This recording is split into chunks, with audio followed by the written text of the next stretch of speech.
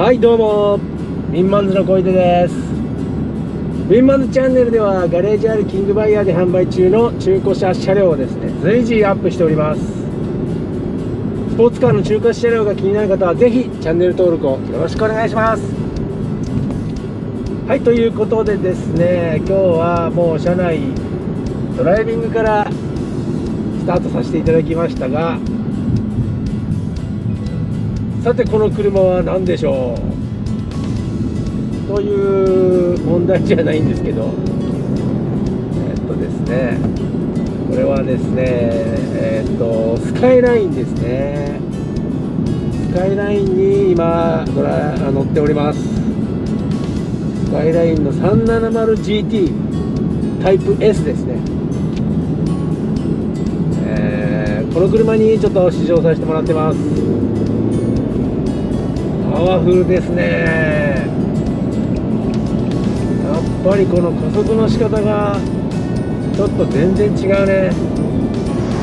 はいそれではちょっと外装を見てみましょう。えーとですねこれはですねインパルのフルエアロが入ってますね。やっぱ1300とか 2000cc とかも速いのは速いですけど速いんじゃなくもうずっしりいくね。これはすごいですね。まあスカイラインは何台かあの撮影させてもらってるんですけど今回も、えーちょこっとドレスアップしてある車ですね。これね平成20年式。平成20年式の車両で走行が10万5700キロを走っております。で6速マニュアルですね。6速マニュアルで、えー、すごいパワフルですよこれ。で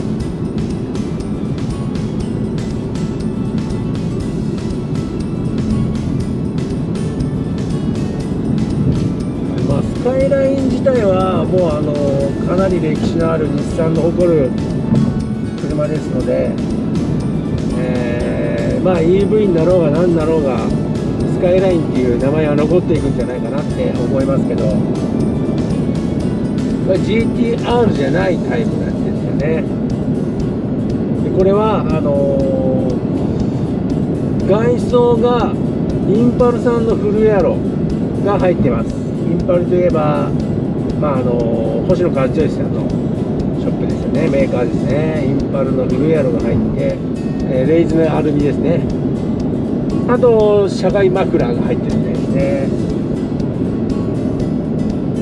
まあ何せ大排気量なんで、まあ、ロングクルージングはもちろんのことやっぱり、えー乗ってて運転してて安心感はありますよね。またスカイラインこのこの方のスカイラインボディも結構ごっついんでなんかちょいちょいぶつかられてもびくともしないぜっていう感じのイメージは僕はあるんですよね。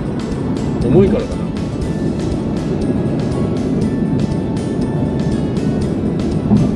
高速クルージングは本当楽ですねハンドリングの取り回しも本当に、えー余計な力を入れずに進んでってくれるんで、えーやっぱここら辺の機能を最大限に生かして自動運転とかにつなげてるんでしょうね。でもうあのーまあ、車重も多分そこそこあってあるにもかかわらず3.7リッターでしょ。このトルクとかを見るとこのフットワークがねすごいんですよね。これこんなにフットワークいいんだっていう感じのついこの間あのインプレッサとかもあのインプレッションしてますけどインプレッシあのインプレッサとはまたあの違うイメージの違う感じの加速。なんだろうな。なんでしょう。こう乗った感じ重さはすごい感じるんですよ。車重の。ただアクセルを踏めばそのレスポンスダイレクト感っていうのがもうものすごくてあのえこんな進むの？ぐらいほら。2足でもこんな進んでっちゃう。すごいよね。すごいですねこれね。ここら辺はもう日産の技術が生かされてるんでしょうね。多分ね。でこれあのハンドルはもう前後前後上下が自由です。きますね自動でハンドルだけじゃなくこのメーター一体が動くんですね上に動いてでさっき言ったあのー、これ。これがね全部変えられるんです。はい。これがすごいんです。こうこういう感じで動くようになってます。すごいね。こいいねこれ。これ見てください。こう動く。なんでここのちょうど3本スポークなんですけどここの間にメーターが見えるように全部動いてくれる。いいねこれぐらいね。でもうシートはもう本側ハーフシートですから電動なんですよ。全部これ。これシート一応革とモケットのコンビですね。ハーフレザーになってます。でシートのコントロールは電動でこう上下と。34567 8方向で動く動くようになってますね。えっ、ー、とねこの車の今までこう見てきた感じのこの車のイメージと乗った感じのイメージっていうのはものすごいギャップがありますね。なんでしょう皆さんも多分この車 370GT っていうとはどっちかというとセダンの高級セダンの中のクーペでしょ？みたいなあセダン育ちのクーペじゃないのっていう感じがしてません？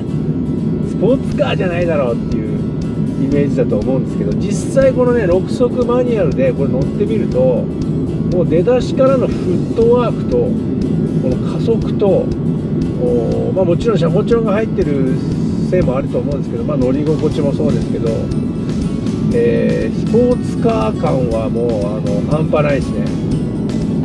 フロント。これが多分リップスポイラーですかね。エアロが入ってます。ライトはちょっと黄ばんでるかな。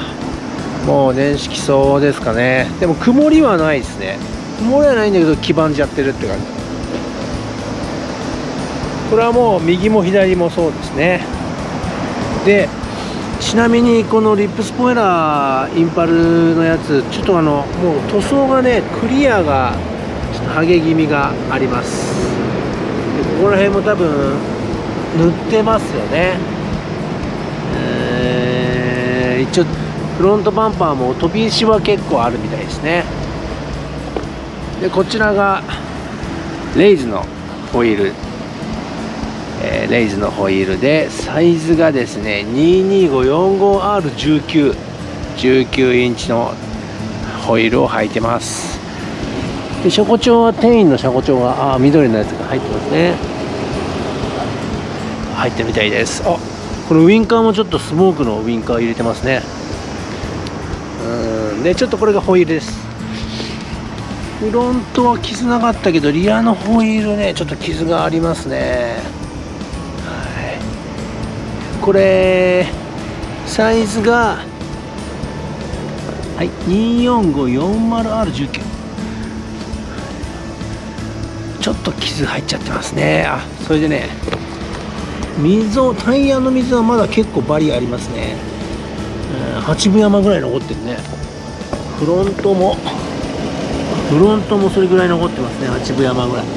まだここら辺の耳も残ってるぐらいなんで。でこういうモール。もうちょっと色が剥げかかってるかな。これゴムなんでしょうけどね。はい。あこれね。 IMPUL。エンブレム Infiniti。Q60S というね。マフラーがまたこれちょっとごっついですね。リアのバンパーもちょっとここら辺クリアが剥げちゃってる感じですね。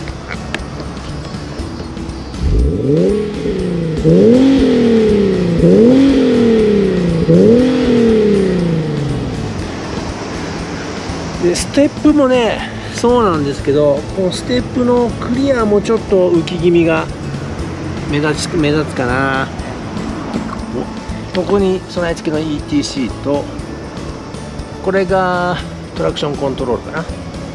これ AFS 日産ニオカのこのライトをですね進行方向にこうゆあの向けてくれるっていう機能がついてますね。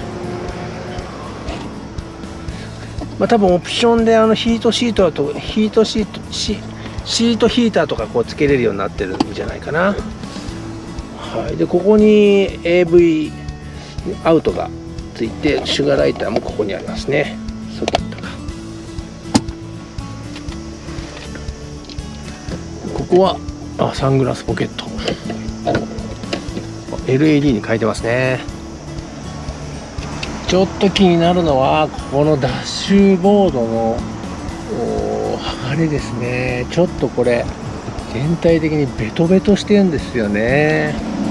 日産は本当よくあるよね。ここはツルツルなのにこう日に当たるところはこうあのベトベトになってくるんですよ。でここもなんか置いといてこう剥がしたら一緒に剥がれちゃったっていう感じのものだと思いますけどここはちょっと残念だな。で後ろの席はこう開けてまあ一応これを椅子を前に持っていっている感じですね。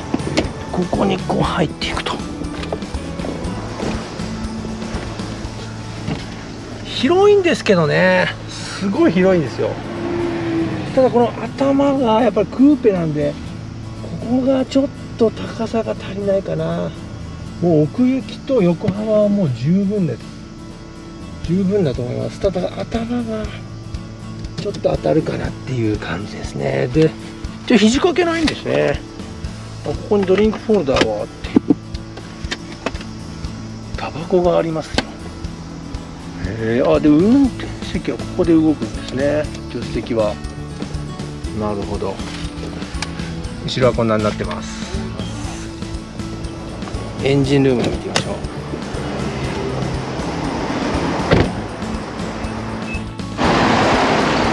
はいこちらがエンジンルームです。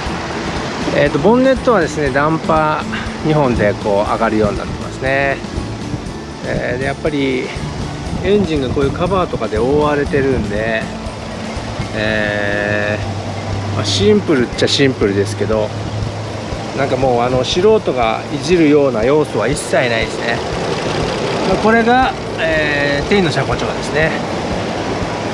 こんな感じです。はい。トランクルームはこれ。ね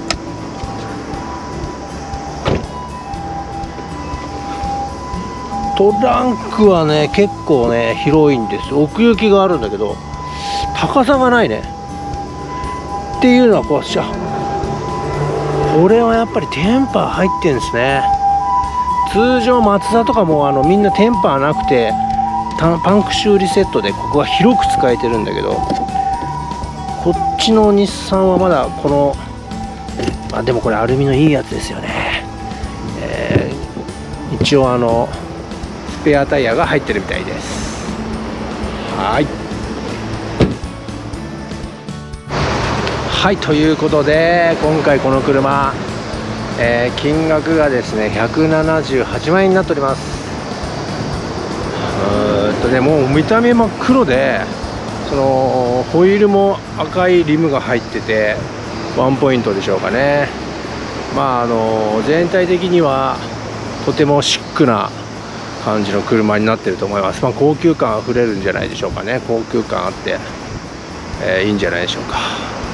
まあ一応あのここら辺の車でぜひ興味ある方はこれじゃあ厚木店にご連絡ください。